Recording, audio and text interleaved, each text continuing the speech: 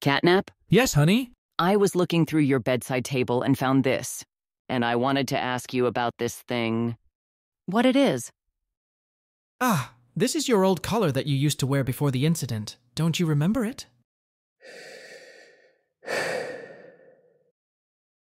I am not the author. You can find a link to the author of the comic in the description of the video.